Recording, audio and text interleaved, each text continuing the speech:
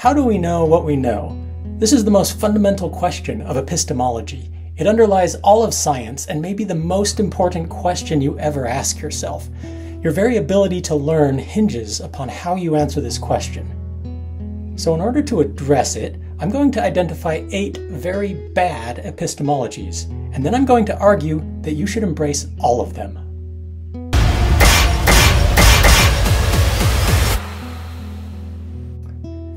First, we have the gullible idiot. He believes every explanation he encounters. I picked the QAnon shaman to represent this approach because QAnon is a classic example of people who gullibly believe every upsetting claim that pops up on their social media feeds. Second, we have the cynic. He will not believe anything unless it can be proven. I picked Descartes to represent this approach because he tried to doubt everything that could not be known for sure. Now, the problem with this approach is that many true things cannot be deductively proven. Many of Descartes' devotees end up rejecting obvious things like reality, and ironically embrace unprovable explanations, such as the idea that the whole cosmos is a manifestation of the quantum wave function that happens to be passing through the mind of some superconscious being. Third, we consider the approach of the conservative. He believes the first explanation he has ever taught, and vigorously defends it against all others. I picked a Fox News host to represent this position because they're known for vigorously defending conservative views without giving serious consideration to alternative explanations. The problem with this approach is that one of the biggest enemies of learning is thinking you already know the truth. And the first explanation we encounter is very often not correct. Next, of course, we have the liberal, who quickly embraces the last explanation she encounters. I picked Oprah Winfrey to represent this position because she's always seeking for new and trendy philosophies. The problem with this approach is that you end up getting blown around by the winds of every new and unestablished theory, it's a breeding ground for pseudoscience and trending nonsense. Fifth, we have the approach of the authoritarian. He believes we should accept what the establishment says is true. I picked Hitler as a well known face to represent this approach. The reason it's a bad approach is because authorities are often people who seek for power. And people who seek for power usually seek to maintain that power, so the truths they promote are usually biased by their agendas.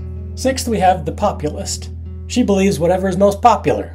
I picked Barbie to represent this approach because, well, she's popular. The obvious problem is that the general public isn't always right. Once upon a time, everyone thought the Earth was flat.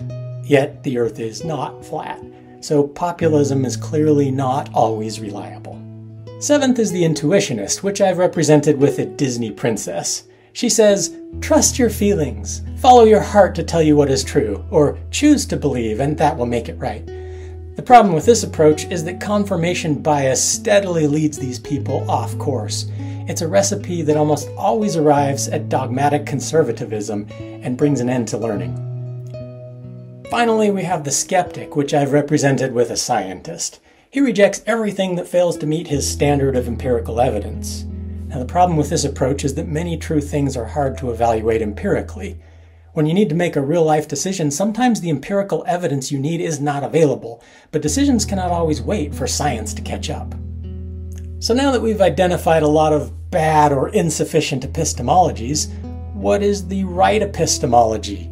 How should we actually seek for knowledge? How can we believe as many true things as possible while still rejecting the false things? what is the right way to learn and how can we know what is knowable? I claim the answer to this question is an amalgamation of all of these approaches.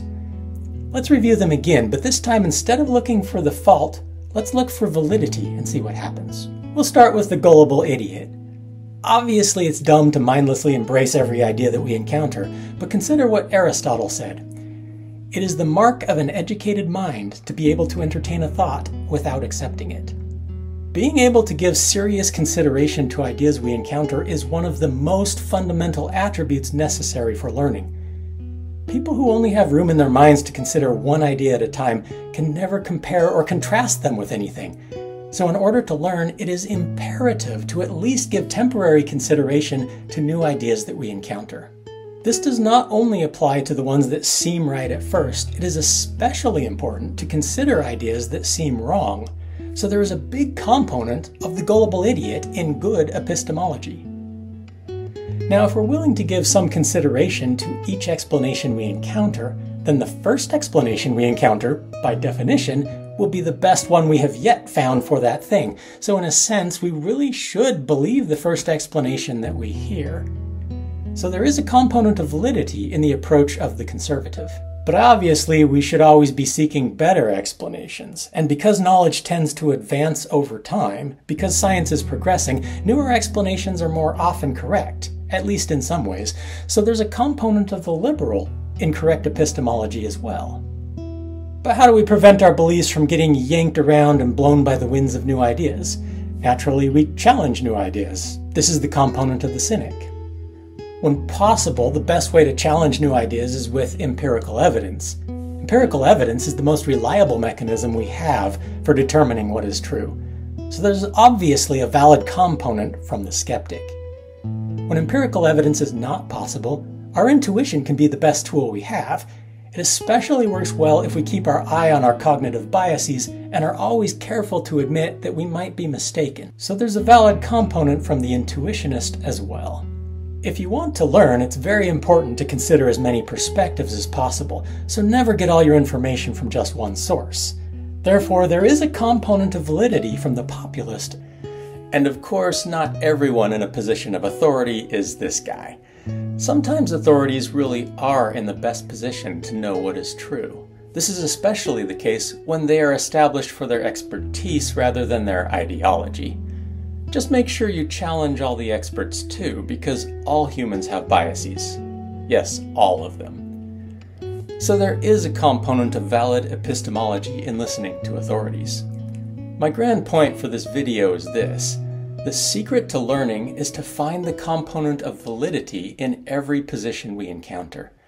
Notice that by seeking for valid components, we implicitly identified when each approach was appropriate to use. So instead of seeking to tear down our opponents, let us seek to understand them. If you cannot see the component of validity in each of these approaches, that probably tells you which ones you need the very most. We especially need to be able to find the components of validity in positions that make us uncomfortable, or that contradict what we think we know. Never be complacent. Never imagine you know it all. You don't. Never lose your intellectual humility, never stop learning, and make everyone your teacher.